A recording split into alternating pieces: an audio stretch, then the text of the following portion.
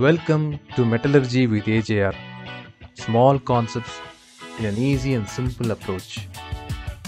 Here I am going to discuss about hydrogen embrittlement.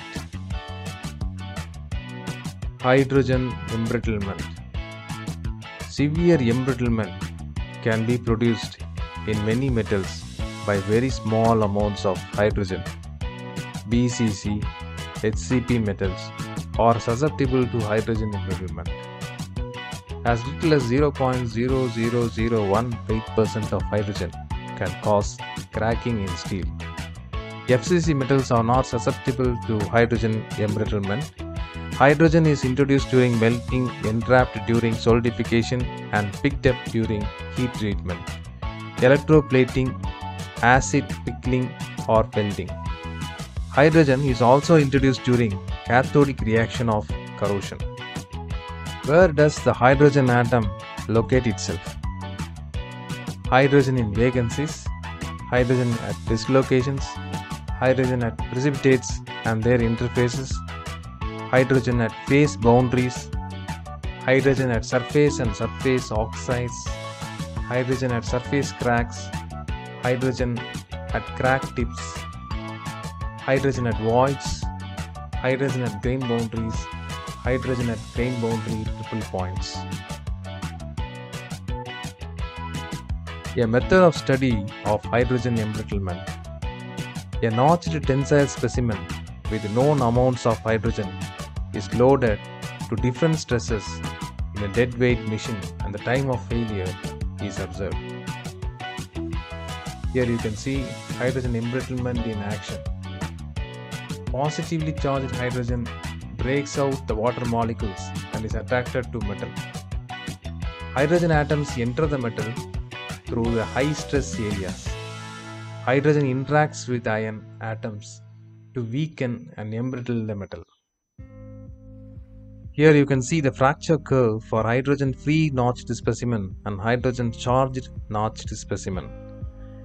For hydrogen free specimen, the yield strength and tensile strength are much higher.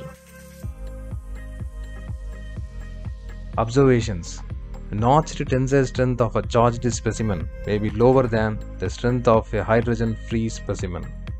There is a minimum critical value below which delayed fracture will not occur. This is similar to the SN curve of fatigue, hence, this is called static fatigue limit, which increases with a decrease in hydrogen content or decrease the severity of a notch. The hydrogen content of steel may be reduced by baking or heating around 150 to 250 degrees centigrade. Hydrogen is present as monoatomic hydrogen and since it is a small interstitial atom, it can diffuse more rapidly at temperatures above room temperature. Pressures are developed when hydrogen diffuses into voids and microcracks. Also, the influence of a stress gradient occurs as hydrogen diffuses, where hydrogen interacts with the metal lattice to reduce its cohesive strength. Also, hydrogen reduces the fracture strength by decreasing the surface energy at the tip of the crack subjected to tensile stress.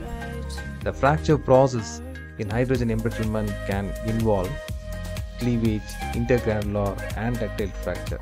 Hence, the most important thing is there is no single fracture mode characteristic of hydrogen embrittlement. The macrostructure of the fractograph of a cross section of a bolt showing fracture region and progressive hydrogen induced cracking. That is along the right side. The dark grey colored area shows the hydrogen embrittlement. There is only one solution for prevention of hydrogen embrittlement. Heat treatment for preventing hydrogen embrittlement. Hydrogen can be driven off through annealing in vacuum. Friends, my idea is to give small concepts of metallurgy in a continuous process. Kindly like my videos and subscribe. You will get notification from me every week. Thank you.